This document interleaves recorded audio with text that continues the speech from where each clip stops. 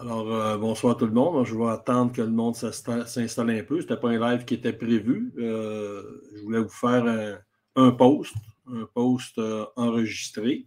Finalement, j'ai décidé de le faire en direct parce que, un, je suis seul ici ce soir. Ma femme est partie dans son party des fêtes à son travail. j'avais du temps, j'avais le goût de vous jaser. Puis bon, ben, je ne sais pas s'il y a du monde qui vont être là. Mais attendre. Bon, ça, commence, ça commence à arriver. En fait, le post que je voulais vous faire, puis en fait, le live que je veux vous faire, euh, j'ai mis j'ai mis une petite vidéo de, surveillance sur un ours. Et euh, la question, bonsoir Vincent, la question euh, qui revient souvent, c'est comment on juge la grosseur d'un ours? Et évidemment, évidemment, l'ours est un animal extrêmement difficile à juger de par sa forme, de par sa couleur. Il n'y a pas de point de repère, il n'y a pas de panache, il n'y a pas rien. Bonjour Ghislain. Euh, Gênez-vous pas, vous pouvez venir me poser des questions. Je vais être là écouter le temps que ça va nous tenter d'être là. Je n'ai rien de prévu, puis je n'ai rien de vraiment spécifique. Bonjour Mathieu. Euh, bonsoir plutôt. bonsoir plutôt la gang que bonjour. Là. Euh, ce que je t'ai rendu, moi, je suis en train de perdre, le fil. Il faut que j'arrête de brasser ma table parce que ça fait ça shake. J'ai cette manie-là. Moi, je gesticule beaucoup quand je parle. Bref, euh, OK. ah oui, c'est ça. Je vous disais que c'était un, gibier qui était très, très, très difficile à juger de par euh, sa forme, sa couleur, tout ça. Mais il y a quand même certains points de repère que vous pouvez, vous pouvez tenir en compte pour juger la grosseur d'un os. Puis même des fois facilité à savoir si c'est une femelle ou un mâle, euh, même s'ils n'ont pas de petits, des fois, de par la forme de la tête, vous allez être capable de juger ça, malgré que c'est assez difficile. Bonsoir Jérôme, bonsoir Sylvie. Euh, Dis-moi donc de quel coin vous êtes. Faites-moi donc un petit commentaire, quel coin vous, m'écoutez à soir. salut Marc. C'est sûr qu'on ne sera pas une grosse gang à soir, c'est juste un petit live. Euh, vite fait sur le fly. Ça, je vais vous en faire plus souvent cette année. Là, venir vous jaser en direct comme ça, à des heures euh, différentes. Là. En soir, ça me tentait. Comme j'ai dit, je suis, seul. Euh, ma femme est dans son party des, fêtes. Euh, Terrebonne, en Saint-Faustin. Salut Pascal, Saint-Faustin, c'est pas loin de chez nous. Je suis à Saint-Agathe-des-Monts. On est quasiment des voisins.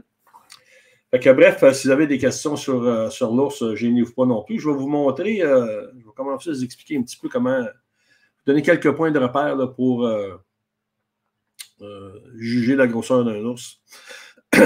Évidemment, ben, euh, ce qui peut vous aider à juger un ours, parce que moi, je ne chasse pas avec des barils, je chasse avec des logs de bois. C'est sûr qu'avec des barils, euh, vous êtes capable de juger de la hauteur. Plus la bédane est proche du sol, plus ils sont gros. Mais abstraction de ça, parce que des fois, ils ont tellement un beau poil le printemps que ça leur donne du volume. Et euh, vous pensez que c'est un gros ours, mais quand il va être par terre, euh, vous allez voir qu'il ne sera pas si gros que ça. Donc, euh, je vais vous mettre Québec, Saint-Augustin-les-Monts, de Saint-Philippe. C'est-tu chute Saint-Philippe, Stéphane?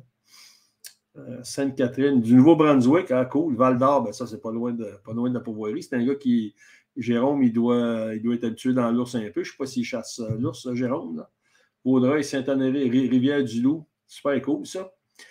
Euh, je vais vous mettre une photo. Je vais vous montrer différents ours euh, qui ont été captés avec des caméras euh, chez nous. Là. Moi, essayer de retrouver ça comme ça. Bon.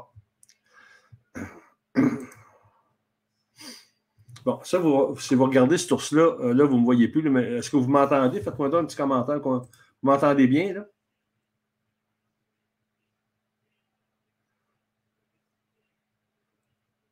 Jérôme Chasse-l'ours. Faites-moi donc un petit thumbs up là, si le son est bon, si vous m'entendez. Bon, good. Fait que euh, vous voyez bien la photo. Euh, cet ours-là, c'est un ours, je vous dirais, de taille moyenne. Premièrement, euh, bon, il y a quand même une belle, une belle forme de tête. il y a un nez qui, qui, qui, est brun, qui est court, donc ça laisse, ça laisse dire que c'est un, un ours mature. Généralement, les, ours qui ne sont pas matures ont le nez un petit peu plus allongé.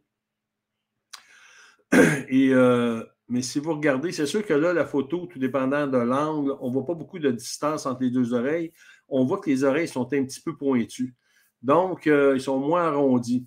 Euh, ça laisse présumer que c'est quand même un bel ours, mais ce n'est pas un ours de taille, de vraiment de grosse, grosse taille. Là, je vais dire, de 300, de 300 livres et, plus. Je vais retourner dans les commentaires. Bon,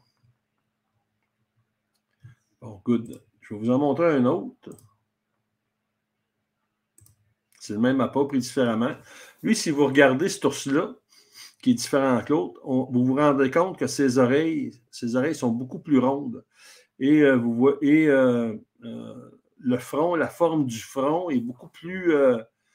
il y a un front qui est beaucoup plus, plus, plus massif. Le nez plus court, le front plus massif. Donc, on voit que par la forme de sa tête, c'est un ours qui est mature. Je vous en montre un autre ici. Bon, lui, définitivement, c'est quand même un bel ours. Il a une belle, une belle tête. Mais on voit que la distance entre les deux oreilles est relativement courte et euh, les oreilles sont pointues. Donc, à partir de ce moment-là, quand ils ont les oreilles droites et non pas en angle comme ça, ben, ça laisse présager que c'est un ours. Euh, c'est pas un ours mature, c'est un ours, euh, un jeune ours. il est quand même beau, ça va être un beau spécimen dans le futur, probablement. Là. Je vais retourner dans mes questions, voir si vous avez des questions. salut Jacques. Je vais commencer. Fait écoutez, gênez-vous pas si vous avez des questions, vous me les posez. Je vais essayer de répondre à tout ça. Euh. Je vais vous en montrer un autre. Ça aussi, on voit quand même un beau poil. Ça lui donne une belle forme, ça lui donne du volume, de la masse. Mais quand vous regardez les oreilles, encore là, pas de distance entre les oreilles. Regardez le nez, c'est un nez qui est allongé. Euh, les oreilles pointues. Fait que c'est pas un ours, lui, on l'a vu, on l'a chassé, on l'a vu, effectivement, ce Maïroso, c'est un ours de 120, 130 livres, euh, gros maximum. Fait que, mais par contre, quand vous le regardez des fois avec des angles de caméra différents, vous allez dire, hey, c'est un bel ours, mais quand vous allez arriver là, ça ne sera pas ce que vous pensez, mais pas du tout. Là, je vais vous en montrer. Euh, ça, c'en est un king, ça. Bon, vous voyez la différence de ce ours-là? Vous voyez la maturité au niveau du, de la forme de la tête, son poil, son front est plat, euh, des cicatrices dans le front, euh, des petits yeux, la, distance entre les oreilles, puis vous voyez la masse, la masse du cou, la forme de la tête, la couleur du nez. Vous voyez que c'est un ours qui, qui, Ça, c'est un ours qui est à sa maturité, là, puis qui, qui, est vraiment. Euh, ça, c'est un bel ours. C'est dans le 300. Le poids est dur à dire parce que tant qu'ils ne sont pas sa balance, on ne peut pas juger du poids d'un ours. Mais ça joue probablement dans le 300 livres. je vais vous montrer une grosse. Euh, pas celle-là. Je vais vous montrer une grosse femelle. Euh, vous voyez que les oreilles sont rondes. Un peu de distance entre les oreilles, entre les deux oreilles, mais le front beaucoup plus arrondi, beaucoup plus. Euh, beaucoup plus. comment je dirais ça? plus long, plus rond, plus beau. C'est une femelle, donc des formes, des meilleures formes. Il n'y a pas le front aplati, puis euh, le nez le front aplati, puis il n'y a pas une tête difforme. Il a vraiment une tête, une belle tête euh, ronde et, filée, mais on voit que c'est quand même euh, une femelle qui, qui, qui, est grosse, qui est mature, est avec son petit, et c'est vraiment une belle femelle. Donc, je vais aller voir si vous avez des questions.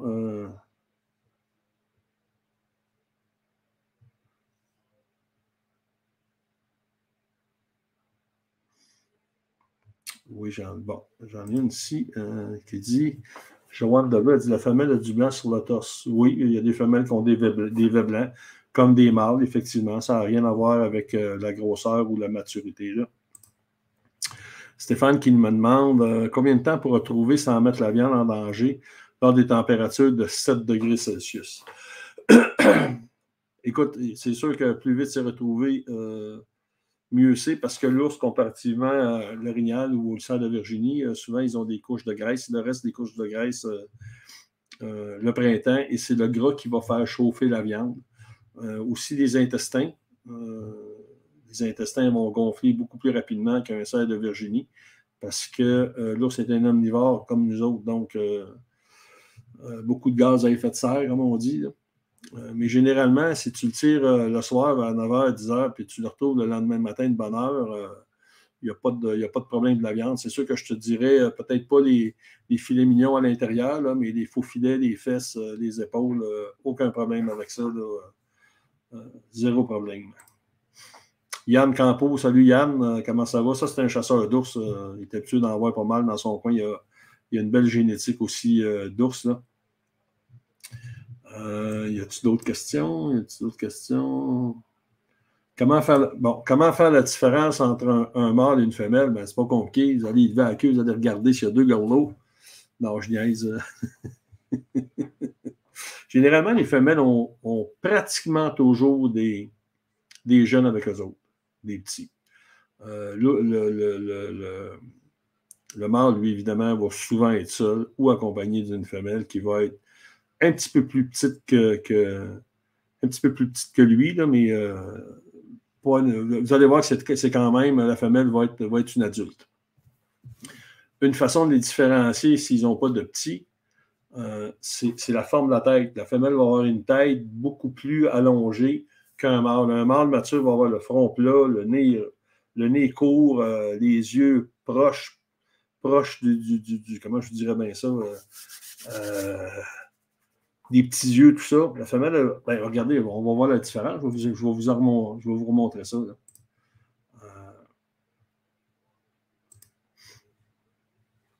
attendez, je vais aller enlever ça.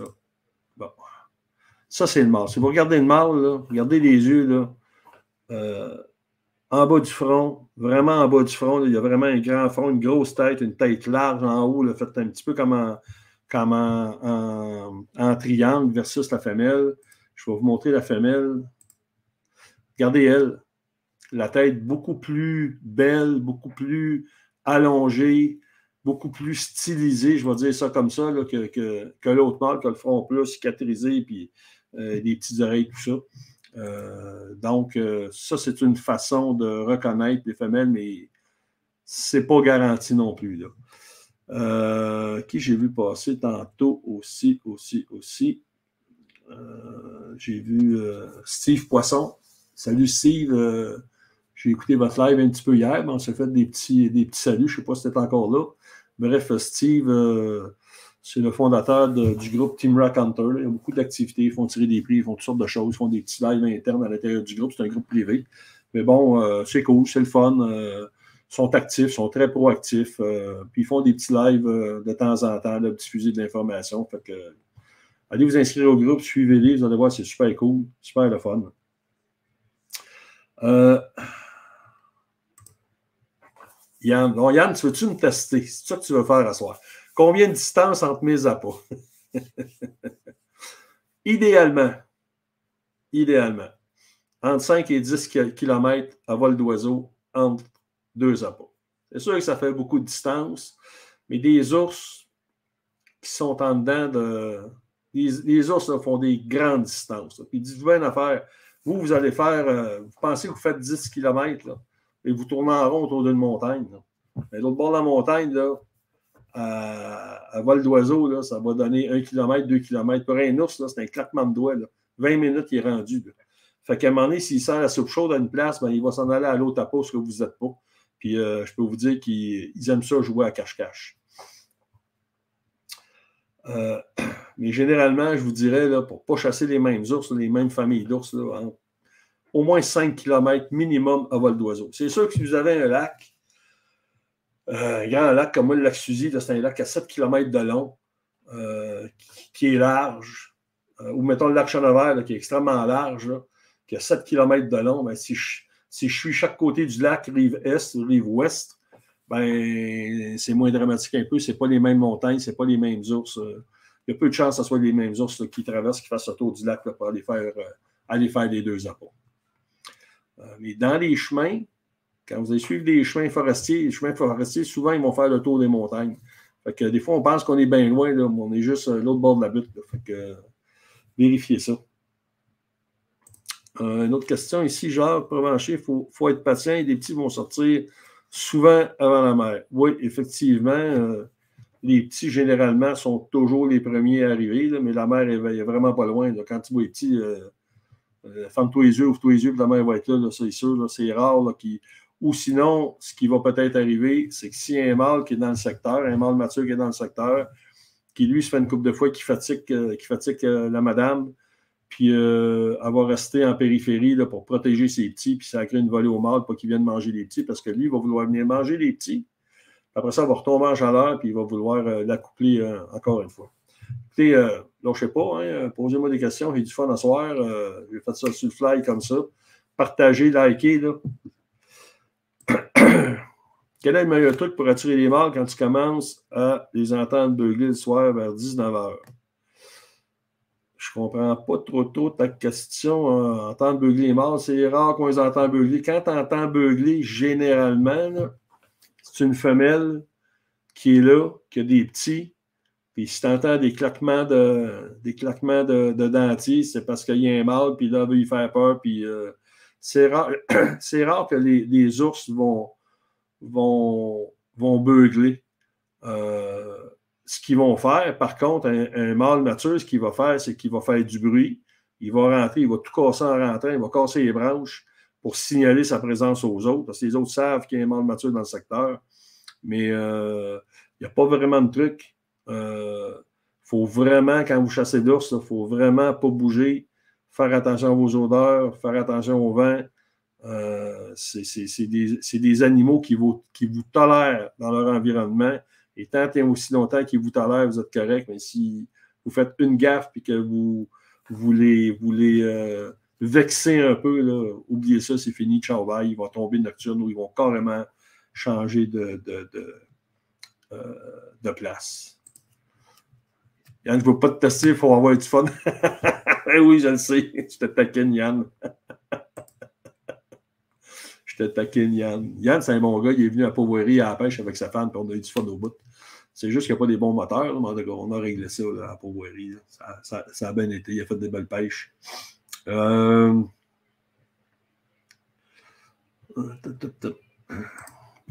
Une autre question. Apporter un ours proche d'un trou d'orignal, est-ce que ça, nuit tant que ça? Non, pas, tout. Écoute, euh, de toute façon, si tu regardes euh, sur tes salines, euh, souvent, tu vas avoir des orignaux qui vont venir, euh, qui vont venir au sel, qui vont, qui vont sentir euh, l'anis, puis tout ça, puis ils vont venir, puis ils vont venir fouiner. Puis non, les animaux, ils sont habitués de vivre ensemble. Ils, vivent dans le même secteur, ils sont habitués à ça. ça fait partie, comme nous autres, en ville, on a, on, a, on, a toutes sortes de monde, puis on vit à travers ce monde-là, puis on s'habitue à ça, puis c'est comme ça, puis il n'y a aucun problème à faire ça. Je ne te dis pas que je me servirais de ma cache, de ma cache originale pour euh, faire un appât ours quand même. Euh, parce que les ours, vous allez voir que si vous apportez, en apportant, il y a de l'odeur qui va rentrer dans le sol, puis même si vous enlevez votre baril, tout ça, ils vont continuer à venir pendant, pendant un petit bout de temps. Et euh, c'est sûr que ça n'aidera pas. Mais si vous chassez à 500 pieds et 1000 pieds de votre, votre spot d'orignal, ça n'ira pas. Au contraire, si vous prélevez des mâles matures, ça va être juste bénéfique pour votre cheptel parce que ce n'est pas les, jeunes ours et les femelles qui, vont, qui vont courir après les, les veaux. Ça va être les, mâles matures qui représentent peut-être 15-20% euh, ou 30% du cheptel. Bon, j'ai Alain qui revient avec. On va une petite discussion avec Alain, on va être du fun. Euh, ça, fait, ça deux ans qu'on entend grogner les ours à partir de 10 heures autour de nous. L'été dernier, le mâle est arrivé à 15 minutes avec un grognement. ça, c'est parce qu'il y en a d'autres. Il y a d'autres ours, tu as probablement plusieurs ours à ton appât, puis lui, il veut signaler sa, sa, présence. C'est ça qu'il fait. Euh, il veut dire aux autres, je suis là, le lunch est à moi, là. faites de l'air parce que. Euh, faites de l'air parce que c'est à moi le lunch. Là. maintenant, pourquoi il ne sort pas à la peau? Ben écoute, peut-être qu'il t'a détecté, peut-être qu'il a senti quelque chose, peut-être qu'il y a un petit bruit que tu as fait, peut-être que, écoute, il y a tellement de petits détails qui sont super importants quand vous chassez l'ours que, euh, c'est des animaux, là, euh, contrairement à ce qu'on pense, c'est extrêmement intelligent, ils ont une mémoire. Euh, ils ont une mémoire qu'il faut exploiter parce qu'ils ils se souviennent d'année en année où, où est-ce qu'ils retrouvent la bouffe, la, bouffe. Donc, ils vont revenir d'année en année alors, c'est important d'exploiter cette, capacité qu'ils ont, mais cette capacité-là peut aussi devenir votre handicap parce qu'à partir du moment où vous allez leur faire une coche, c'est fini, ils vont s'en souvenir euh, tant et longtemps. Changer de place, euh, déménager votre appât de 500-600 pieds. Euh, écoute, Alain, il y a peut-être peut-être dans le vent, peut-être que. Parce que souvent, lorsque les gens font, ils vont. Vous allez faire un apport, vous allez vous installer, installer vos miradors, tout ça, avant même que les ours aient commencé à venir. Idéalement, vous devriez faire un puis le chasser l'année suivante pour donner le temps aux ours de faire leur trail. Leur trail de rentrée, leur trail de sortie. À partir de ce moment-là, quand les trails sont établis, vous remontez les trails et là, vous allez vous, vous, vous positionner en fonction des trails. Donc, vous allez éliminer tous les risques d'être euh, capté par les ours, soit par le vent, soit par le bruit, soit par le mouvement. Euh, euh, je vous dis, c'est comme, comme des, des, GPS. Donc, je ne sais pas si ça répond à ta question, Alain, Alain là, mais. Ah, il dit mon partenaire est en train de gagner de, 19h à 9h. Écoute, l'autre chose que je peux peut-être voir, c'est que peut-être qu'il gagne après vous autres. Là, il n'est pas de bonne humeur, le monsieur. il veut. Il veut, euh, il aller au lunch, là, mais euh, il vous a spoté puis ça vous fatigue. Fait que là, il essaye de. Il essaye sa, dominance rentre, en ligne de compte, puis là, il essaye de vous, euh, de vous, tasser, de vous de là, là, là. Autre question ici, Marc-Antoine. Est-ce qu'un ours garde longtemps le même territoire? J'ai vu un monstre sortir sur mon stand pendant la saison de cheveux. Est-ce que je peux espérer le revoir l'année prochaine? oui, sûrement. Euh, ils sont très, euh, très territoriaux. C'est sûr que durant le temps du. Dépendant si tu vas le chasser, si tu le chasses au mois de juin, euh, tu as l'aspect du rythme qui va rentrer en ligne de compte où ils vont se promener et ils vont faire des. Le mâle va faire des très, très grandes distances. Il va, se déplacer de 50-60 km facilement, mais tu vas en avoir d'autres qui vont rentrer aussi. D'ordre général, ils sont assez territoriaux. par contre, des fois, ils ont des secteurs qui vont mieux aimer le printemps et d'autres qui vont mieux aimer l'automne pour une question de nourriture simplement. Alors, c'est ça qu'il faut que tu regardes. Je ne sais pas c'est quoi ton secteur, euh, où tu chasses, puis tout ça. Euh, c'est qu'est-ce qu'il y a autour de toi? Es-tu dans le bois franc? Es-tu euh, dans des zones de transition? Ben, bref, ça, c'est toutes des questions qui, sont. Qui, c'est toutes des, choses qui doivent être, qui doivent être vérifiées pour l'année prochaine, mais euh, si tu chasses d'automne, il y a des bonnes chances qu'il soit là euh, encore une fois. Euh, salut Jean-Marc, il dit Je suis en retard à soir. Il n'y avait rien de prévu, Jean-Marc, tu n'étais pas en retard. Es juste le bienvenu. Euh, des ours aiment bien les pommes, maïs pour les maïs pour la les ours aiment tout. Pas compliqué. On ne sait même pas la tête. La seule chose, c'est quand vous allez commencer des appâts et vous commencez à les nourrir avec euh, une sorte de nourriture spécifique, surtout si vous avez des mâles matures. Changez pas la recette du, gâteau au chocolat parce que euh, ça va les breaker. Ils vont revenir. Ils vont revenir, mais euh, ça peut prendre deux, trois jours avant qu'ils reviennent. C'est juste faire attention à ces petits détails-là quand vous commencez à chasser et qu'il y a un mâle mature qui rentre. Euh, il ne sera pas là, surtout si c'est dans le temps du route, il ne sera pas là pour euh, trois semaines. Il va être là une journée, deux jours, trois jours, puis après ça, s'il a, eu ce qu'il veut ou il n'a pas eu ce qu'il veut, il va déménager d'une façon ou d'une autre. Si vous change de quoi pendant la petite période, la petite fenêtre qu'il va vous donner, qui va être là, ben oubliez ça, il va partir puis il va être parti ailleurs. Il va revenir, il va revenir plus tard. Peut-être euh, peut que ça va être après la chasse. C'est bon. Il faut juste faire attention à ça. Yann dit Ouais, exactement, quand il se présente son nerveux, son nerveux des autres soirs. Ouais, effectivement, ça dépend toujours de, ce que tu as dans ton secteur comme ours. Puis si tu as des dominants, parce que plus tu as de dominants dans ton secteur, bien évidemment, euh, euh, les autres ont mangé une coupe de claque. Quand, l'autre il dit il signale sa présence, je peux vous dire que ça ne niaise pas ou pas, ça, ça fait des pistes. c'est super cool le soir. Là. Super cool. Je ne pensais pas avoir autant de monde que ça. Là, puis, euh,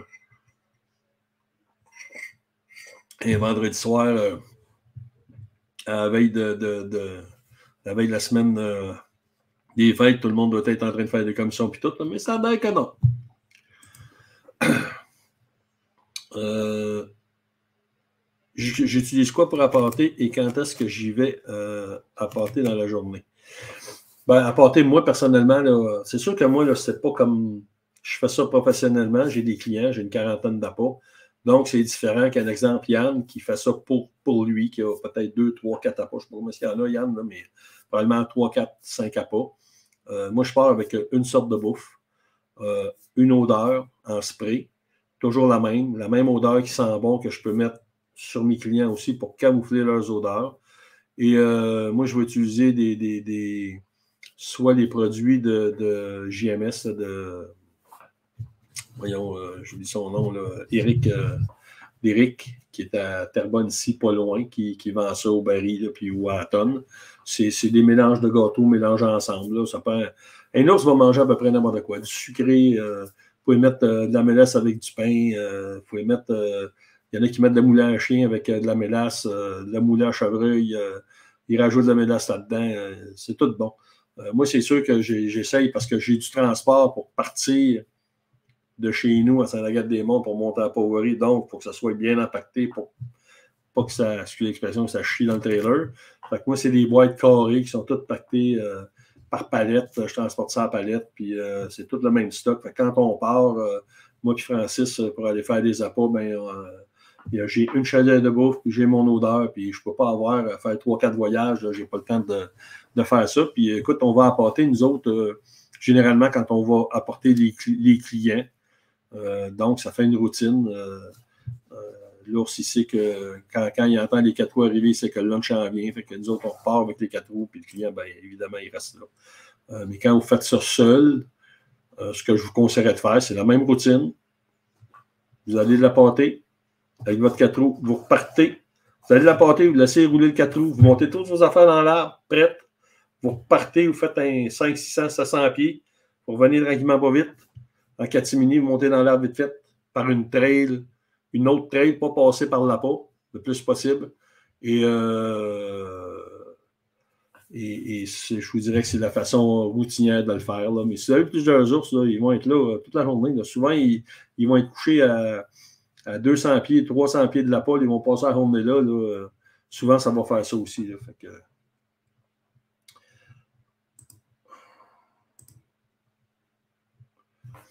Patrick, il dit On fait quoi pour sortir de notre cache ce soir? Patrick, un ours, là, euh, c'est pas un mangeur d'hommes. On ne fait pas partie de leur régime alimentaire. De un. Oui, il y a eu des accidents, c'est sûr. Il y a des femelles avec des petits qui vont chercher à protéger. Si c'est une femelle avec des petits, vous faites juste casser des branches, casser une petite branche, euh, juste vous allez voir un petit bruit, un petit. Euh, ça comme ça sur, sur, le stand de métal, là, euh, vous allez voir, ils vont partir. Ils resteront pas là. C'est vraiment extrêmement peureux. Et euh, moins de petits bruits, là, ils, vont partir, il n'y a pas de danger. Bon, c'est sûr qu'il peut y avoir des exceptions, là, mais c'est quand même euh, assez rare. Il faut faire attention parce que ce n'est pas, pas, un lapin, c'est sûr. Mais de toute façon, vous êtes armé, une flashlight, vous descendez, faites un petit peu de bruit. Essayez de ne pas faire du bruit quand vous êtes dans votre stand parce qu'il va localiser votre stand s'il est encore aux alentours. Parce que souvent, il va rester autour. Ils savent que vous êtes là, puis ils vont vous regarder descendre, puis ils vont partir. Fait le moins de bruit possible pour partir. Puis quand vous êtes rendu un petit peu plus loin, cassez les branches un peu, là, puis euh, vous allez voir qu'il n'y aura, pas de, aura pas de problème. Euh, Yann, il dit il veut aller manger. Je comprends pas mon Yann, mon gars. Explique-moi ça. Euh, j'en ai, une autre question ici. J'ai un collègue de travail qui me disait cet automne dans la chasse au chevreuil qu'il y avait beaucoup, probablement d'ours, parce que penses-tu qu'il y a des chances que les ours soient encore dans le même secteur? Ah, c'est sûr qu'ils sont dans le même secteur. Sûr, sûr, sûr, sûr. Ils vont, ils vont rester. Ben, ça dépend du secteur, mais généralement, oui. Euh, ou en tout cas, ils ne seront pas loin de là, parce qu'ils ne font quand même pas 50 km pour déménager, là, mais certainement, tout dépendant de ce que son, ton, collègue de travail euh, chasse. Euh, c'est sûr qu'il y a des, des oursons là, ils font partie de, l'écosystème. Euh, ils protègent chez femelles, ils savent qu'ils sont là. Oui, exactement. Tu as bien raison. Effectivement, mon Yann. Yann il est aussi trappeur, donc il est habitué d'être en forêt. Bon, euh, j'ai commandé une boîte à surprise ours de la femme monette aujourd'hui, ça tombe bien. Ouais, c'est bon ça. Hein.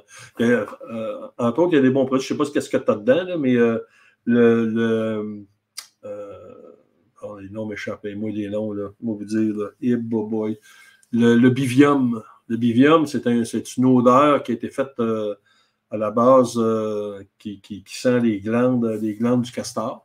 Et évidemment, le castor, c'est une des nourritures premières de l'ours le printemps parce que c'est riche en protéines. Et euh, évidemment, traîner du castor qui est en putréfaction dans votre véhicule, euh, c'est assez ordinaire. La madame n'aime pas trop ça quand tu rentres à la maison, tu n'échappes une coupe de gouttes sur toi parce que cette odeur-là, c'est, de l'odeur de mort, ça reste ça, c'est un épouvantable. Mais le bivium euh, est, sent très très bon, puis euh, même mélangé avec de l'anis, c'est extrêmement bon, ça sent bon, euh, c'est pas dégueulasse, euh, ça fait un job, c'est merveilleux. Fait que tu as fait un bon achat. Euh, oui, justement, euh, Yann Campo dit que le bivium est très bon pour attirer des ours. Puis souvent, quand, vous allez attirer des ours, quand votre appât est neuve, une nouvelle appât, mais ils ne connaissent pas l'appât, ça peut prendre un petit peu de temps avant que ça commence à fonctionner. Mais après ça, quand c'est un appât qui, date de 2-3 ans, il n'y a plus besoin de charrier de la charogne à, tout bout de champ. Ils savent, ils, ils vont être là, d'année en année, ils vont venir, ils vont être là, ils vont s'amuser, ils vont, ils vont, ils vont venir manger. Ils savent que c'est là. Ils ont ça dans le GPS. Yann en parlait un petit peu plus haut. dans les commentaires, ils ont un GPS intégré. Puis c'est vrai qu'ils ont un GPS intégré. Ils n'ont même pas besoin de, juste mettre de la bouffe, là, puis un petit peu d'odeur, euh, du bivium, euh, du bivium, euh, de l'anis. Très, très bon. Des odeurs de barbecue. Des, ce que vous retrouvez sur le marché, généralement, sont, sont, très, très bonnes. Donc, vous allez voir que plus n'a pas est vieille, meilleur elle plus, plus euh, prolifique elle va être aussi. Marc, euh, salut. Est-ce que les ours euh, sont routiniers aux appâts? Est-ce qu'ils viennent au même heure? Généralement, oui. Mais ça va arriver dans certaines périodes, surtout dans la période du rut, qui vont devenir un petit peu plus. Un petit peu plus.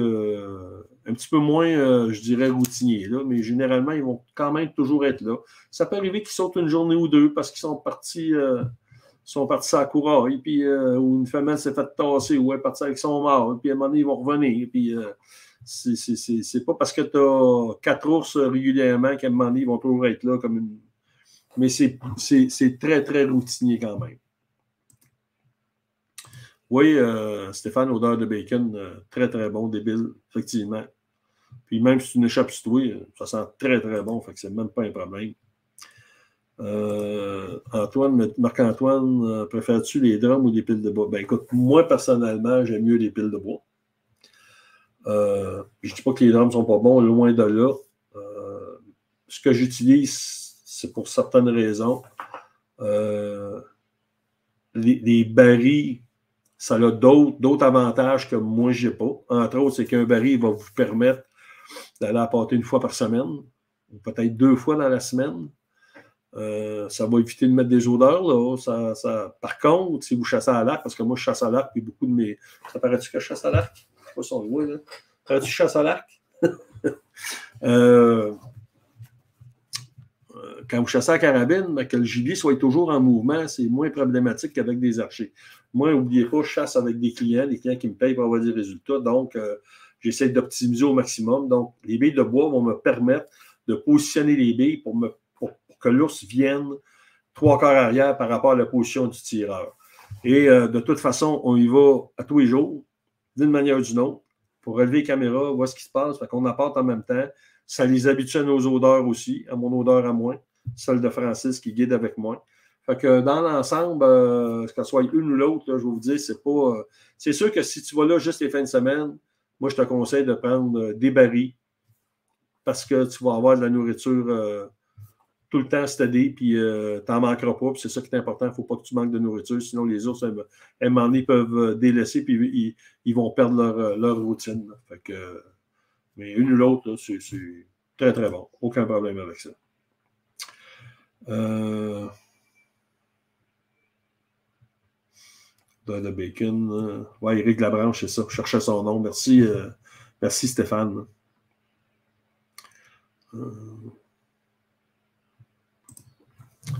commence quand à partir du printemps? Ben écoute, moi, Alain, moi, je monte, euh, je monte à Pauvory quand, quand ma nature me permet de monter aux alentours du 15 de mai.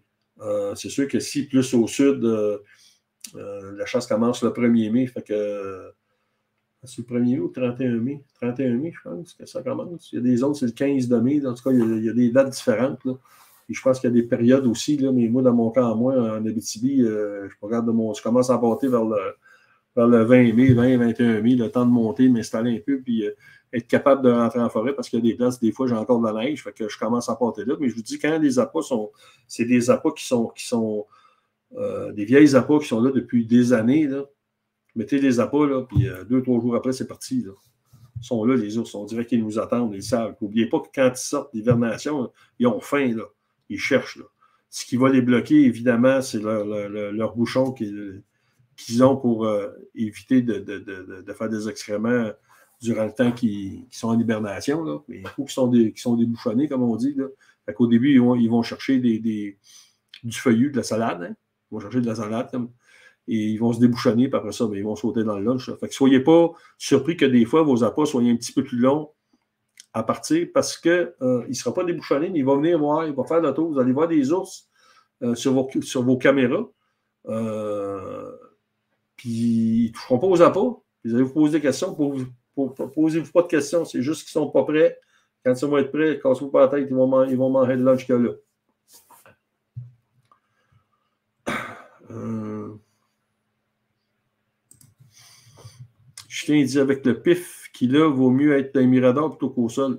Ça n'a pas d'importance, c'est une question de vent. De toute façon, moi, je pense personnellement qu'ils nous piffent tout le temps. Ils savent toujours qu'on est là. Ils font juste nous tolérer. C'est juste qu'il ne faut pas. Euh, comment je dirais ça? Faut pas overloader. Bon, ils nous tolèrent, mais il ne faut pas prendre ça pour. Euh, comme une garantie. Il faut toujours faire attention quand même. Évidemment, les vents sont super importants. Et souvent, les ours, euh, selon le vent, ils vont rentrer selon le vent. Fait que ils n'avaient pas bien le choix. Là. Mais ils nous tolèrent, puis peu importe. Puis ça dépend si vous chassez à carabine ou si vous chassez euh, à l'arc. si vous chassez à carabine, euh, vous mettez au sol à 150, 150 verges ou 100 verges, il n'y a pas de trouble là. Si vous êtes à l'arc, en dedans de 20 verges au sol, là, c'est un autre game. Il faut, faut, se préparer différemment.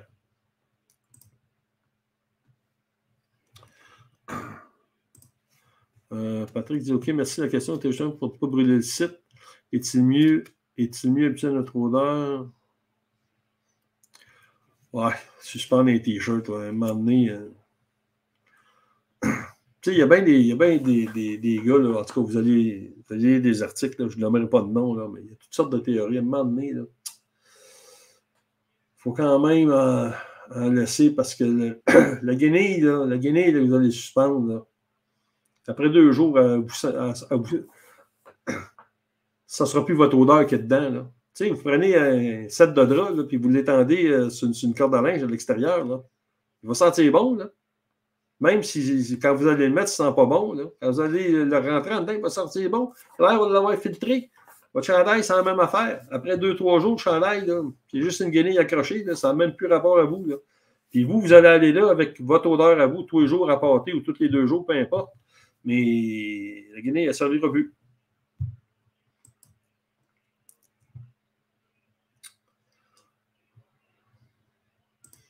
Anto qui dit euh, merci pour euh, ce bon savoir. Ouais, ben, écoutez, ça me fait super plaisir. Je ne pensais pas faire ça.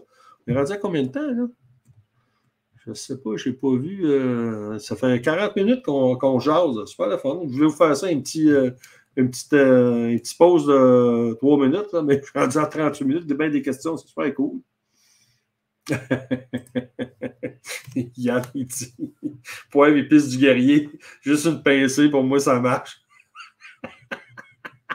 je vais en parler avec euh, les épices du guerrier qui se mettent à faire des apparos. Ça, ça serait cool.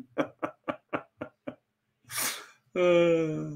Jérôme, il dit Ouais, il dit des fois, c'est long à, décoller le printemps, effectivement. C'est juste parce qu'ils ne sont pas débouchonnés. Puis euh, quand ils vont être débouchonnés, ils vont rentrer dedans. Puis des fois, il y a des secteurs qui. Euh, à cause d'une question de nourriture, hein, il y a des secteurs qui. C'est plus long. Moi, j'ai des apports pour pourvoirie. Ce pas les premiers qui partent. Ils partiront jamais les premiers. C'est le même, ça fait 15 ans que c'est le même, mais pourtant, c'est mes meilleurs appâts. Fait que euh, je ne les utilise pas en début de saison, je les utilise plus vers euh, milieu, fin de la saison, mais c'est comme ça. c'est une question d'écosystème qui est autour, simplement. Euh, Louis-Guy Lachance, on peut-tu faire un, apport dans un mois? Oui, en masse. Aucun problème. C'est sûr que si c'est un apport flambant neuf, moi, je te conseillerais d'en faire plusieurs appâts dans le secteur où je à des distances de 1 km, parce que tu vas, tu vas découvrir que certains ours vont être plus à l'aise dans un secteur donné plus qu'un autre. J'ai un appât, entre autres, moi, le, mon, ben, euh, l'appât du lac Gertrude, qui est chez nous, j'en parle souvent quand, je fais, quand je parle de la chasse à l'ours. Euh, c'est un appât qui, euh, que, où il est actuellement, quand je suis arrivé là, je disais, ah, moi, pas bon, j'aime pas ça. j'ai trouvé une place, une petite butte, un petit, un petit ridge là. J'étais pas loin, 500 pieds là. N'a jamais marché. Puis là, où est-ce qu'il est là actuellement? C'est 4-5 courses par année qui est là. Pourquoi? ils sont à l'aise pour différentes raisons qu'on ne peut pas expliquer. Nourriture, couvert, euh, c'est pas loin, là. Je vous dis, 500 pieds maximum. Puis euh, les ours, il y avait un ours par deux semaines qui rentrait là. Puis quand je l'ai parti, ou ce qui était à l'origine quand j'ai acheté la Beauvoirie, c'est 4-5 courses, euh, c'était des égal. Fait qui sait? Euh, il peut garder son bouchon combien de temps? Mais écoute, généralement, euh, généralement le printemps, quand il sort, je vous dirais que moi, dans mon cas, moi, en Abitibi, quand vous êtes au sud, ça va sortir, ça va se débouchonner beaucoup plus vite parce que la végétation, il y a à peu près deux, trois semaines de différence entre les bourgeons dans le sud du Québec, mettons ici, dans le coin où je suis, l'Outaouais, puis les Laurentides versus l'Abitibi où les bourgeons euh, vont commencer à sortir deux, trois semaines après. Fait que, tout dépendant du secteur où vous êtes, euh, ça va être euh, fin mai, milieu mai, à partir du milieu mai, ça va commencer à, être bon. En Abitibi, je vous dirais plus première semaine de juin, normalement. Mais il n'y a rien d'écrit parce qu'il y a des années qu'il y a des printemps qui sont plus hâtifs, d'autres plus tardifs. C'est ça qui fait la différence. C'est le printemps qui décide, qui décide d'un petit peu de tout là. Yann. Salut Yann. Yann, euh, Yann va venir chasser l'ours chez nous pour la première fois. Euh, je pense que c'est sa première expérience à l'ours. Si j'apporte mon ex, les autres vont aimer ça? Écoute, je vais vous en dire une bonne, là. Mais si ta femme est dans sa période, c'est bon. on regardera ça. pas mal cool la soir. Super le fun. C'est une bonne gang. Vous ne me lâchez pas avec les questions. Hein? Ça va bien? Euh, du blédin. Euh... Justin Morin dit une bête à côté d'une dame à castor, je me dis que c'est parfait. Ben, mettons que c'est pas mal winner. Je te dirais, si tu as euh, des zones de transition, euh, donc tu as de l'eau, tu dois avoir aussi de l'herbage. C'est ce qu'on a besoin de printemps pour se débouchonner. Tu as de la nourriture à portée de la main, tu as du castor, euh, tu as pas mal tous les éléments. Il faut juste que tu trouves un secteur où ils, ont, ils sont capables de rentrer et de sortir en cas de, en cas de pression euh, assez rapidement, qui ont des échappatoires, comme on dit. Puis euh, si tu as tous ces éléments-là, puis que tu peux, tu peux te setuper convenablement, mais moi je pense que c'est winner pas mal.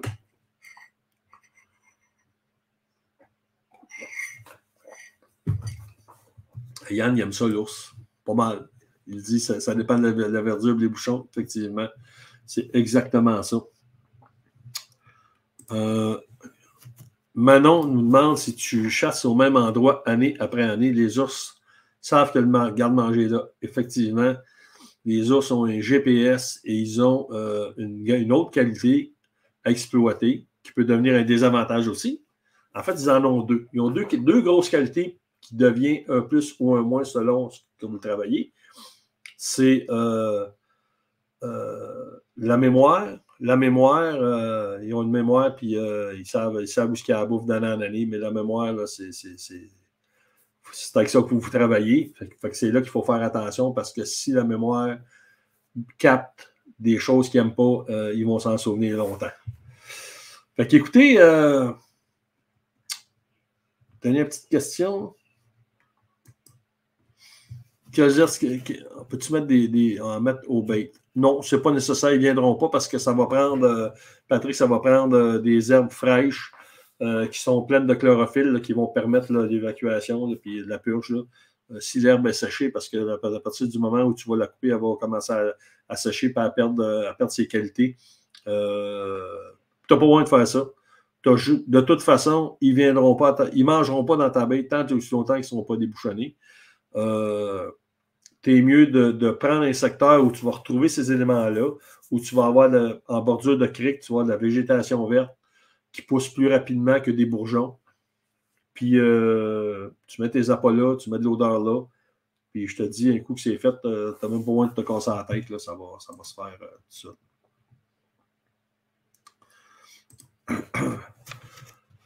Vont, quel poids maximum a été récolté pour un, pour un mâle? Tu veux dire euh, un record euh, provincial?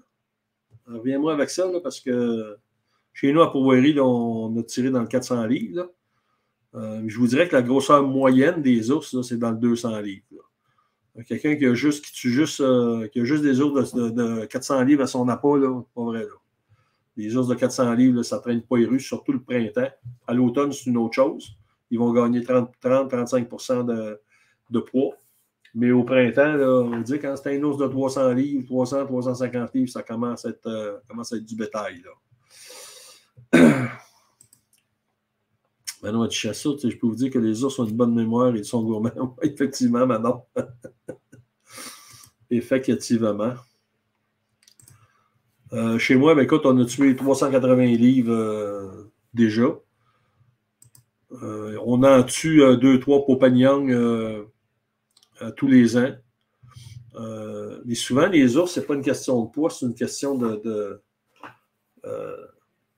Je dis souvent que nos gros ours, c'est comme des, haltérophiles. Ils ont de la grosse masse en avant, des épaules, tout ça. puis ça va dépendre de la longueur de l'ours, mais ce pas des ours. chez nous, en Abitibi, ils n'ont pas. L'été n'est pas long, hein. c'est pour ça que les arbres ne poussent pas vite en Abitibi euh, versus euh, le sud du Québec. Le euh, sud du Québec, il y a un mois de plus, de, il y a plus que ça, il doit y avoir quasiment deux mois de plus de, pousses, contrairement à l'Abitibi. Puis c'est la même chose pour les ours. les ours, les ours grossissent beaucoup moins vite que dans le sud. Et, mais de toute façon, un ours noir, là, oui, il y a des exceptions à la règle, mais un ours noir, là, moyenne, c'est 200, 225 livres pour les mâles, puis c'est 150 livres les femelles. C'est ça, c'est ça en gros. Là.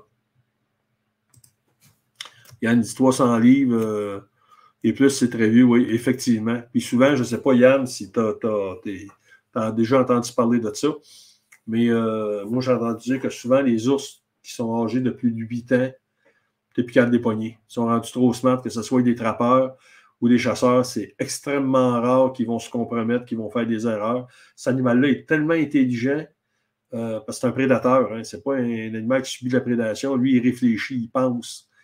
Et euh, il semblerait que des ours de plus de 8-10 ans, c'est fini, on ne voit plus ça. Euh, vont dire j'ai remarqué qu'ils ne perdent pas leur bouchon tant qu'ils les pissenlits ne sont pas sortis loin de Randa. Ben, écoute, euh, Yvon, moi, je suis euh, au sud de Sainte-Terre, la, pauvreté au sud de Sainte-Terre, et, euh, et on n'a pas de pissenlit. Fait que je ne peux pas te le dire, mais les pissenlits, c'était début juin d'habitude. Fait que ça coïncide un petit peu à ce que je parlais tantôt, qui perdent leur bouchon vers la première semaine de juin. Là. Euh, Yann, euh, il me confirme ça, effectivement, après 8-10 ans, un ours, euh, final bâton, pense pas à ça, il est parti, il est parti, puis il ne reviendra plus. Tu ne le pogneras pas, il est rendu trop smart. Justin, une, femelle, un mâle va rester combien de temps qu'une femelle? pas longtemps. Le temps de faire sa job, une journée ou deux, après ça, ciao, il est reparti pour. il sa galère, comme on dit. Fait que souvent, quand vous avez des, des, des gros mâles qui rentrent dans vos appâts, allez-y là, là Dites pas, m'a gardé ça pour dans deux semaines. Trop tard, ils ne seront plus là. C'est sûr, sûr, sûr qu'ils ne seront plus là. Et une nouvelle ours qui rentre dans la peau, un gros ours qui rentre dans la peau, c'est de suite. Suite, suite, suite. Sinon, c'est fini. Il est parti. Ciao, bye. S'il n'y a pas de femelle ou sinon une, puis il a fait ce qu'il avait à faire, il passe, euh, il passe au prochain numéro, comme on dit. Je regarde pour un arc gaucher usagé. Quel conseil aurais-tu? Ben, Patrick, il faudrait que j'ai besoin de plus d'informations un petit peu. Est-ce que tu parles du arc traditionnel ou tu parles du arc, du à poulie? Idéalement, euh, Patrick, écris-moi en privé parce que pour te conseiller un arc, euh, te conseiller un arc, euh, j'ai besoin de plus d'infos que ça, de un. De deux, une arc gaucher, usagé, c'est assez rare, mais je peux te référer à des places qui peut-être vont, vont t'aider. Et souvent, les arcs gauchers usagés vont pratiquement être le même prix qu'une arc euh, flambant neuve euh, due à la rareté. Fait que rendu là, ben, c'est toi qui décideras. Euh, tu regarderas, mais écris-moi en privé, puis je vais pouvoir plus t'aider là-dessus. Plus on vieillit, plus on est smart. Ouais, c'est ça. Ah, des fois, non, des fois, on fait des conneries pareilles en vieillissant.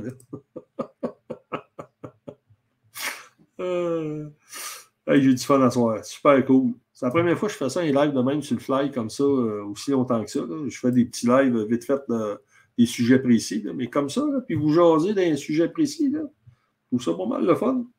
Je vais peut-être en faire d'autres. Euh, je ne sais pas si ça, vous tenterait à un moment d'entendre parler d'archerie traditionnelle, pour avoir plus de détails là-dessus, comment, à quoi ça consiste, puis euh, qu'est-ce qu'on utilise comme flèche, comme pointe. tous ces détails-là, même si vous si vous ne pensez pas chasser à l'arc traditionnel un jour, là, mais juste pour avoir de l'information, écrivez-moi euh, écrivez-moi un petit, un petit commentaire pour ça, là, pour voir euh, ce que vous en pensez, puis tout. Là. Ouais, Manon a l'air euh, craqué solide. Elle dit J'adore parler de chasse à l'ours. Ben, je vais faire un live au mois de janvier. Je vais faire un live un lundi soir, là, un gros live avec des invités. Là, on, va, on, va, parler de chasse à l'ours, c'est sûr, sûr. Plusieurs fois dans la saison d'ailleurs. Euh, j'ai euh, quelqu'un qui, qui, va probablement parler avec moi. Évidemment, il y a Stéphane Monette, c'est sûr, qui va vouloir venir en parler avec moi. Puis j'ai aussi, euh, ben, je vous dis un petit nouveau. Pas un petit nouveau, c'est un, un, nouveau avec moi que je ne connaissais pas, qu'on s'est connu sur le web cet été, on s'est mis à jaser. Puis j'ai parlé de faire des lives avec moi. C'est Johnny Ricard qui est un maniaque de chasse à l'ours aussi, à l'arc. Euh, lui, il va en faire avec moi aussi des lives là-dessus. Euh, puis j'ai un autre, euh, autre chum que j'ai, Marcello Piacentini, qui, va, qui veut venir parler de chasse à, chasse à l'ours aussi. Là, fait qu'on on va être trois, quatre à triper là-dessus. Là, puis, on, va, on va avoir bien du fun. On va avoir bien du fun. Claudia Eric, elle me dit, elle me dit, voyons, oh, j'ai vu passer déjà parti. ce qu'elle me dit? Ah, super intéressant ça. Oui, cool. tu veux dire pour la chérie traditionnelle? Thumbs up, c'est ça.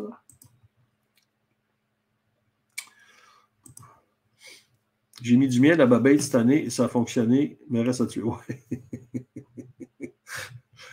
Tout est bon pour là, je vous le dis. Tout est bon.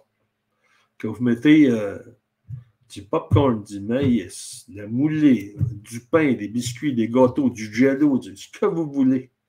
C'est sûr qu'ils vont venir en manger. Évitez le chocolat, par contre chocolat semblerait que pour les ours, c'est comme pour les chiens, ça leur donne euh, des boum, boum, boum, ça les fait, ça fait péter. C'est de valeur parce que ça marche. J'ai déjà eu du Nutella, moi, puis c'était. Il n'y avait pas un point qui aimait ça, les ours aussi aimaient ça, mais j'ai arrêté parce qu'on a eu un mémo de la Fédération des pauvreries qui, qui nous ont parlé de ça. donc j'ai arrêté parce que je ne veux pas. Mon objectif n'est pas d'éliminer les ours, c'est de faire des chasses, de récolter euh, convenablement. convenablement euh, Stéphane Plourde, apportes-tu du duct tape pour Stéphane? Du duct tape pour Stéphane. Pour faire quoi, euh, M. Plourde? Juste m'enligner un peu, parce que je ne la pointe pas. Ben, j'ai une petite idée, là, mais je ne suis pas sûr, là. C'est-tu pour euh, faire ça comme ça avec, là? C'est ça? Fais-moi un thumbs up, ouais.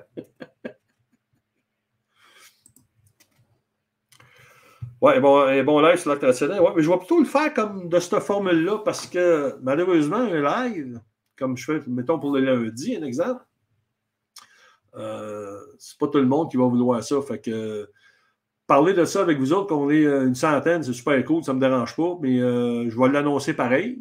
Dire que tel soir, je vais faire un petit live euh, sur le fly comme ça. Mais je ne sortirai pas l'artillerie lourde pour faire un live comme je fais tous les lundis, comme ceux que vous connaissez. Là. Mais je vais vous en parler de plus en plus. L'archerie traditionnelle, ça fait ça fait cinq ans que je fais chasse-pêche 2.0, j'en parle rarement, puis c'est mon petit dada à moi. Là. Fait que là, je m'a commencé à me lâcher lousse. Euh, oui, yes. c'est ça. J'y avais bien pensé que c'était ça.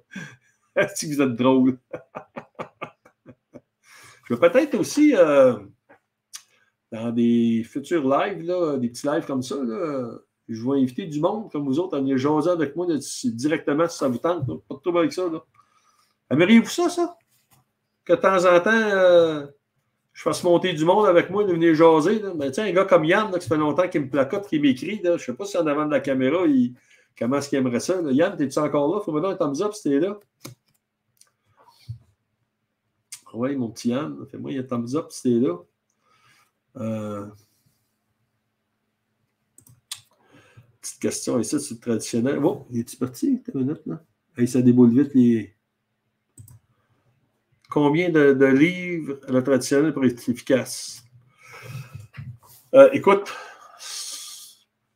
tu n'as pas besoin. Ce qui est important, c'est que, euh, Benoît, ce qui est important, c'est que, tu aies une pression pour être capable de contrôler ton tir avec efficacité, pas de blesser à long terme, moi, j'ai 64 ans, puis je tire encore de l'arc euh, régulièrement, puis je vais en tirer encore pour bien des années, je vous dis ça. J'ai des gars que je connais qui ont overloadé leurs arcs, ils sont plus capables de tirer à l'arc. Et de toute façon, vous avez besoin de 40 livres de pression, soit pour tuer euh, un ours, un orignal ou un cerf de Virginie, peu importe. Euh, peu importe. Fait que donc, moi, je tire mes arcs, c'est 51 livres. entre 48 et 52 livres, ça dépend comment ce que je file. Quand je commence ma saison, là, quand je commence à tirer, de, mettons, euh, là, avec, avec le COVID, on a tiré moins durant l'hiver. Là, j'attends que le club euh, de tir à l'arc ouvre pour aller tirer euh, tout l'hiver. donc, je vais tirer à 50, 52 livres. mais mettons, je suis deux, trois mois sans tirer. Je vais commencer à 47, là, puis après une semaine, je grimpe une livre ou deux, puis je m'en vais jusqu'à 50, 52, j'ai pas moins plus que ça. 52 euh, livres, je passe à travers un autre Saint-Orignan, les chevreuils, c'est comme, euh, comme une flèche dans le beurre, sans aucun problème. Euh, un, live sur l'arc serait super avec des techniques pour tirer l'os quand le vital n'est pas comme un chevreuil. Hey boy! Et là, Justin, tu, tu, parles d'une affaire que, effectivement, euh, effectivement, un ours, ce n'est pas un gros target.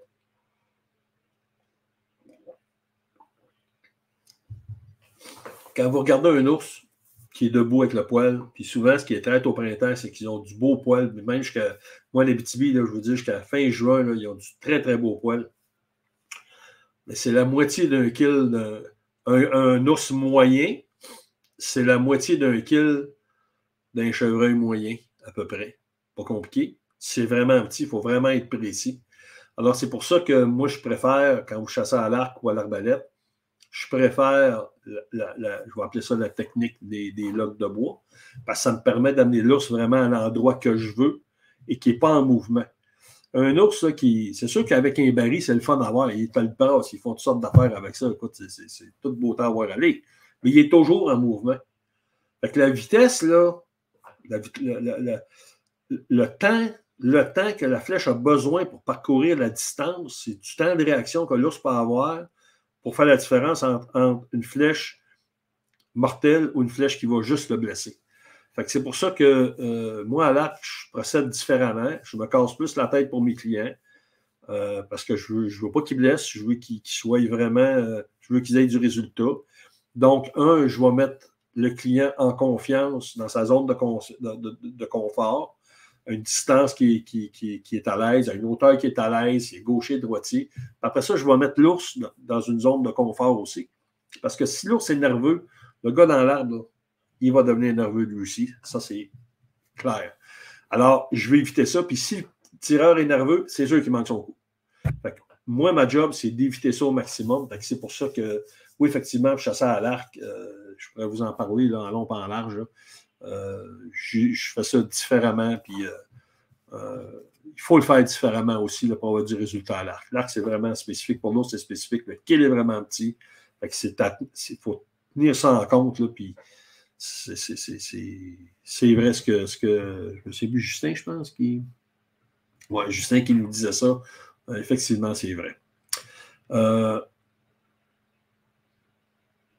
J'ai-tu d'autres petites questions? Pas de gêne tout. Moi, lâche-toi lousse. Euh... Yann, ouais, Yann, écoute, euh... prochain coup, je t'enverrai, si t'es là, je t'enverrai une invitation, puis ben, je t'en parlerai que je ferai un live, euh, telle date, puis je t'embarquerai avec moi. Là, ça serait super cool. Ça me ferait différent que d'avoir Stéphane Monette. Moi, peut-être être plus capable de jaser avec toi que de parler avec Stéphane. Je vais peut-être pas avoir une duct tape. je ne sais pas s'il nous écoute, Stéphane, mais en tout cas, il doit rire dans sa barbe euh, pas mal. J'ai hâte de faire le live avec lui euh, le lundi. On a un live qu'on va faire ensemble sur euh, l'aménagement après saison. Vous connaissez Stéphane, en plus, il va probablement être en Floride, rendu en Floride. Fait on va se faire on va se faire écœurer en, plus. Mais ça va être super cool, super le fun. Euh, Joey dit J'ai seulement une semaine entre le moment où j'ouvre ma bête pour mes trois jours de chasse. Quelle est ma meilleure stratégie? Eh boy Meilleure stratégie, il faudrait que tu essaies d'avoir plus de temps parce que malheureusement, les ours, c'est comme. C'est Dame Nature qui gère tout ça. Hein. Il n'y a pas vraiment de truc. Euh, il faut qu'ils soient là. Quand ils sont là, il faut que tu sois là. Euh, si tu ouvres ta bête, écoute, c'est sûr que plus ta bête est vieille, qu'elle a des années, plus ça va être facile. Euh, mais trois jours de chasse, probablement tu chasses euh, loin de chez vous, fait que tu montes une, une shot une semaine avant pour starter à bête, mais après ça, tu vas chasser une grande fin de semaine. Je pense que que c'est ça ton, ton, ton pattern. Il n'y a pas vraiment de truc. Écoute, euh, il faut que tu mettes de l'odeur à côté, à côté, à côté. Là, dans un cas de même, là, tu, tu castor fermenté, des bombes d'odeur. Il y a une compagnie, je pense, euh, ben, ça s'appelle non, euh, sont en beau, ces autres. Là. Ils ont une bombe d'odeur, tu as ça, tu ça 12 à, peu près à 50 mètres, le genre. Ben, ça, à la limite, là, euh, oui. Sinon, tu t'en fais une. Si tu connais, si tu connais un trappeur, tu ramasses un castor, tu le fais faisant un peu, il n'y a rien qui a rien qui bat ça. Puis même de l'anis, de l'anis très concentré, l'odeur va rester là longtemps, longtemps, longtemps, longtemps. Puis à la limite, tu peux prendre une petite bouteille d'eau là, comme ça, puis la couper, puis rentrer ton tampon d'anis euh, je te garantis pas qu'il va rester là longtemps parce qu'il n'y a pas grand-chose qui, qui, résiste aux, aux ours, là, mais gêne-toi pas pour mettre de l'odeur en abondance, les écorces sur. Euh, euh, si tu as des, des, arbres qui sont, qui sont coupés, des souches, là, en mettre là-dessus, que ça s'imprègne dedans, puis tu vas voir que ça, ça, ça c'est le seul moyen que tu as de faire la job. Écoute, tu n'as pas de temps. Puis des fois, le problème, c'est le printemps, c'est pas toi qui, c'est pas toi qui décide, c'est Dame Nature qui va décider. Fait que, euh, Yann, il nous dit surtout faire attention au vent dominant, le soleil aussi, de pas là. Ouais. En fait, euh, c'est parce que ça, c'est comme une, double. Comment je te dirais ça, Yann? Moi, dans mon cas, moi, les vents dominants, c'est l'ouest. Le soleil se couche à l'ouest. Je suis voir le vent en face ou le soleil d'en face. Fait qu'il faut que je me place de façon à avoir des arbres en avant de moi qui vont couper le soleil à partir de 4 heures, où le soleil va tomber dans des arbres le plus possible.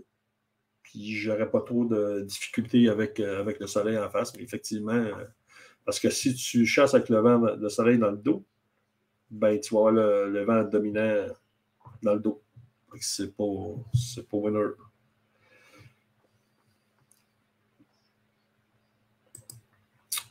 Justin, si tu as juste trois jours de chasse, tu pas un forfait employé déjà BT, employé ou à CEPAC. Écoute, c'est sûr que la job est faite. La problématique, moi, des trois jours, je ne veux pas en faire parce que c'est trop. pas assez de temps. En Abitibi, de pogner trois jours de mauvais temps, c'est comme normal. Fait que tu montes, ça va te coûter à peu près le même prix ou presque pour faire trois jours de chasse puis tu vas, n'auras pas assez de temps. Euh, tu vas la météo contre toi. Euh, trois jours là, pour chasser l'os, ça va dire, euh, c'est assez, assez vite fait et passé.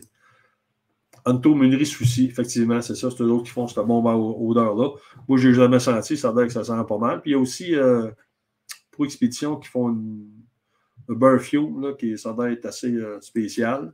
Bref, il doit en avoir un petit peu euh, partout sur le, un petit peu partout, là, euh, différentes compagnies qui ont différentes odeurs, mais je vous le dis, Bivium, anis, les odeurs d'anis, odeurs de chocolat, Bivium, vous êtes en business, euh, pas pire. Fait que, écoutez, euh, mine de rien, on a fait euh, une heure. Pensais faire 10 minutes. Ça fait déjà une heure, je suis parti. Juste checker, ouais, si ma femme ne m'a pas envoyé un message. Parce que c'est moi qui fais les rouges ce soir. Fait que faut que j'aille la chercher quand elle a fini son, son souper. Euh... Fait que. Non, elle ne m'a pas appelé, fait que je suis correct. J'ai Stéphane Monette qui m'a envoyé un message. Ça fait deux, trois jours, je cours après. il dit Je travaille en fou, je suis en meeting. Pas de tout, mon Steph, on se parlera plus tard. il s'en va, fait que j'imagine qu'il y a bien des affaires à faire, Steph, parce que je veux être sûr qu'il. Euh, euh, pour le live, j'ai des petites choses à y parler, tout ça. fait que, c'est un bon chum, j'aime ça le jaser. Le. On a, on a, une bonne chimie ensemble, on a du fun au bout ensemble. fait que c'est super cool. fait que, puis écoutez, je vous invite à l'écouter le matin. Là, je suis rendu, je l'écoute quasiment tous les matins. Euh, de temps en temps, je vais y faire mon petit commentaire, mon petit coucou. Des fois, je t'acclais au ras. N'oubliez pas, il y a sa millième qui s'en vient bien vite. Il va y avoir des gros prix, là, beaucoup de prix. Là, puis il va y avoir du monde, pas à peu près. Là, en tout cas, il, il va, il va, il va avoir une bonne connexion Internet. je pense qu'il va, il va la loader solide parce qu'il y a pas mal de monde d'inscrits à, à, son, son euh, pour sa millième. je pense que c'est au mois de janvier. De toute façon, on va en parler euh, lundi, on va en parler avec lui. Là, puis, euh, c'est sûr qu'on va jaser de tout ça. on va avoir des prix, on avoir plein de, plein de choses lundi. Là, puis, vous allez voir, ça va être encore. avec Stéphane, c'est toujours c'est juste que je ne peux pas parler, mais bon, je m'habitue. Ça me fait du bien de temps en temps. C'est pour ça que je me reprends en soir. Euh, fait que c'est ça, je vous dis, on est rendu une minute 6. Là, euh, je pense à faire un 10-15 minutes. puis, euh, ben, écoutez, je vous remercie beaucoup d'avoir été là. Puis, écoutez, partagez, likez. Puis, on se. On, va en faire d'autres. Je vais en faire sur la cheville traditionnelle. Puis, Yann, écoute, je vais t'inviter. Des, petits lives qu'on va faire comme ça. Là, je vais t'inviter. Là, ça va faire différent. Ça va être super cool. Y a-tu euh, de la haute vitesse à. C'est quoi qu'a dit Claudia? Claudia Eric? Il y a eu la haute vitesse un matin. Ah, OK, ouais. Il a grossi ses écureuils. fait que, un gros merci tout le monde. Euh, j'espère que ça vous a aidé. Et si vous avez des questions, puis il y avait un monsieur, là, je me souviens plus de son nom, là, qui euh, il voulait m'écrire. Euh, pour un arc usagé gaucher, je ne me souviens plus de son nom, là. mais monsieur allé sur mon Facebook. J'ai deux Facebook. J'en ai un, j'ai un canot. Prenez pas celui-là, prenez l'autre que je suis posé de côté. Envoyez-moi une demande d'amitié, puis contactez-moi via Messenger, puis je vais vous renseigner là. Au pire, on se parlera. Je vous appellerai au téléphone pour avoir plus de questions parce qu'à s'écrire, des fois, ça va être, ça va être trop long. On, va avoir mal au doigt de taper. Là, fait que, bref, sur ça, ben écoutez, un gros merci. N'oubliez pas, on se voit euh, lundi pour un live euh, avec euh, Steph. Après ça, ben, ça va être la pause des fêtes. On va se revoir au mois de janvier. Puis je pense que je vais ouvrir ça avec un, live sur l'ours. Je pense que vous avez aimé ça. Là. Puis ça, vous en faites des petits. C'était là, avec Johnny, puis Marcello, puis toute ma gang de chums. Fait qu'on va vous. On va, on va s'amuser avec vous autres encore pour une autre saison. Fait que, gros merci tout le monde. Salut, passez une bonne soirée, puis euh, merci d'avoir été là encore une fois. Partagez, likez. Bye tout le monde.